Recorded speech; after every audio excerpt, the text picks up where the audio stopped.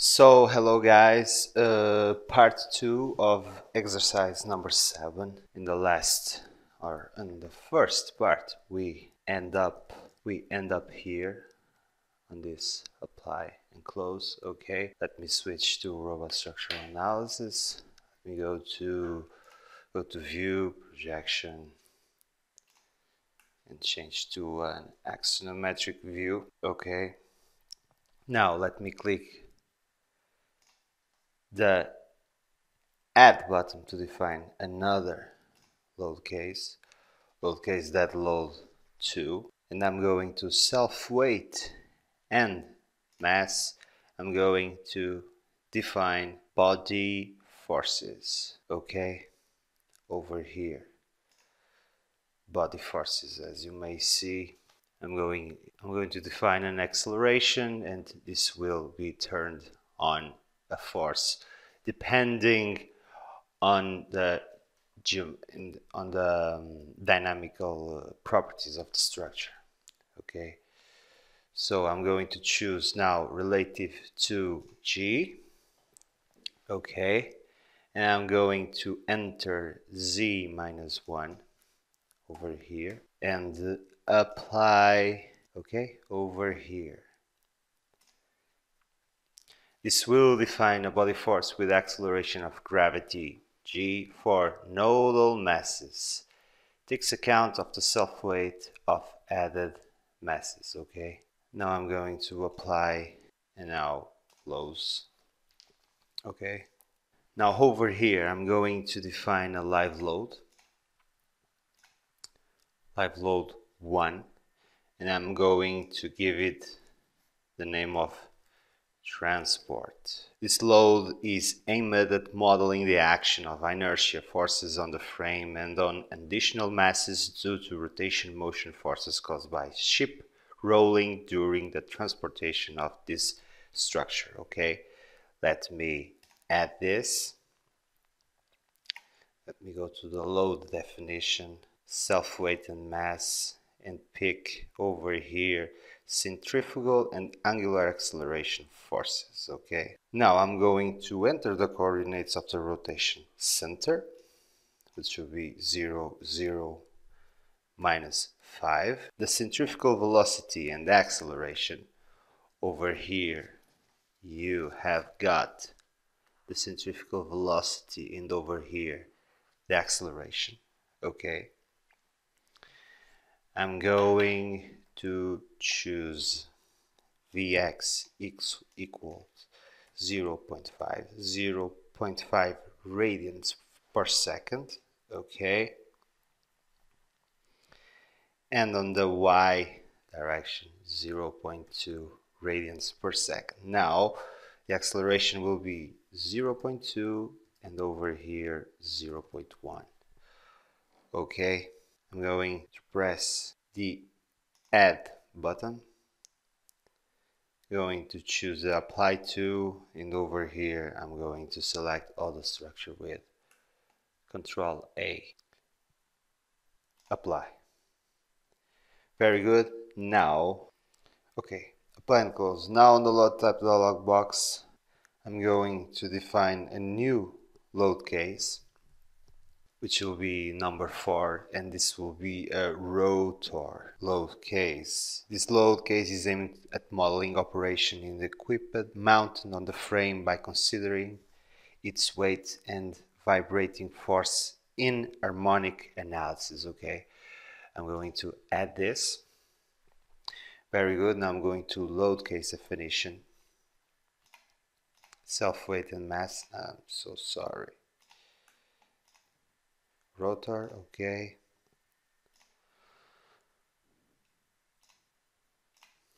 Sorry I need to change over here to rotor now I'm going over here. Okay self weight and mass. And now I'm going to choose. Sorry node.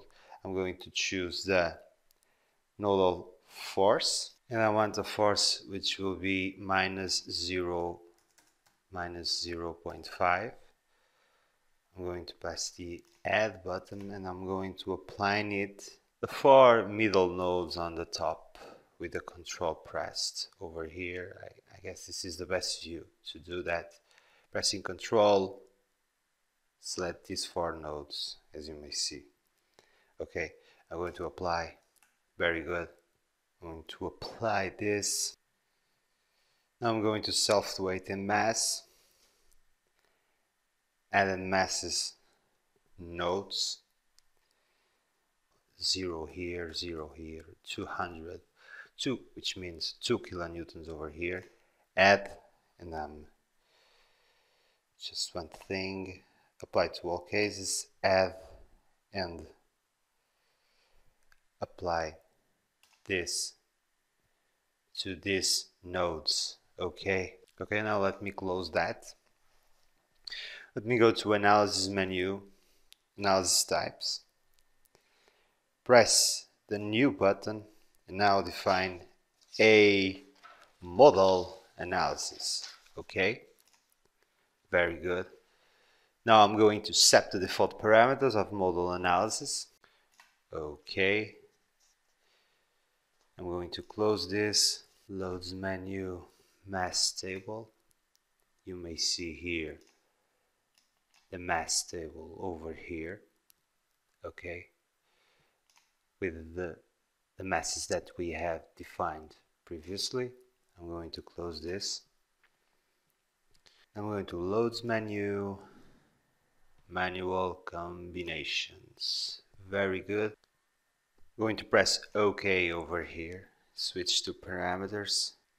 I'm going to let the auto over here and robot is going to choose the factor by, by which will escalate the loads okay now I'm just going to select the first three load cases press the first one press shift while pressing shift select the third one we'll select everything and add OK.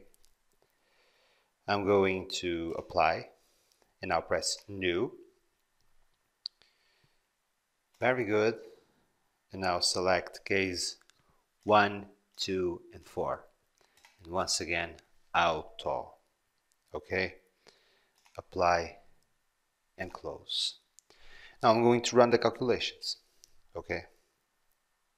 Now I'm going to run the calculations, pressing this button. The modal analysis will be done over here. Let's wait a little bit. Okay. Now I'm going to results. Let me maximize this. Left mouse click, display, go to the loads tab and turn on the load symbols and forces generated automatically okay load symbols and forces generated automatically okay apply.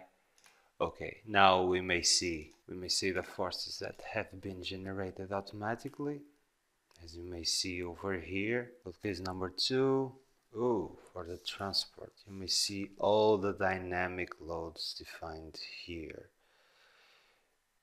It, it's a bit complicated to check these loads but you may check them here. Okay here I have that load 2 the transport load and the rotor loads notice that the rotor loads are defined as a static set of forces not dynamic ones. It's the difference between the rotor and the transport forces, okay? Note that. Now, restore the default set of displayed attributes, okay? I'm going to the deformation tab and switch on the deformation over here. Apply. And now we can see the deformation for the rotor, for the transport, as you may see. What a crazy thing. That load number two and also that load number one. Now I'm going to turn on the results menu. I'm going to results now and I want the stresses you may see the stresses over here. I'm going to pick 6 to 7 or 6 and 7 which are the combinations. I'm going to right mouse click and go to table columns and switch off bending and axials just to see the extreme, nothing else. I'm going to press OK. Now I can check here the global, global extremes over here of stresses. Now I'm going to close this. Now I'm going to select Results menu, Advanced Modal Analysis and in this table you may check everything regarding modal analysis. Frequency of the first mode, second mode, to mode number 10. Remember that I have accepted the default parameters. I'm going to close this just to show you the deformation regarding the modes. I'm going to pick the modal analysis. I'm going to select mode number one, turn on the deformation and you may see the deformation of, I'm going to normalize it, the deformation of the mode number one. Now mode number two, three, four, three, four, five, six, seven, eight. Okay, we end up the exercise. I hope you guys enjoy it. Thank you for bearing here with me and thank you very much for watching. Please subscribe.